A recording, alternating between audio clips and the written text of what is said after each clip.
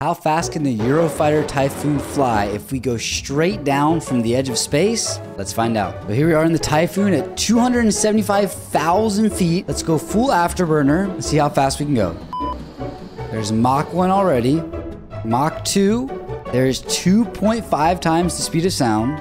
Mach 3, and we're still going. We're accelerating now. Mach 3.5. Oh my god, we are moving. Mach 4. 4.08, 4.09. Mach 4.09 and then we lose control. That is crazy.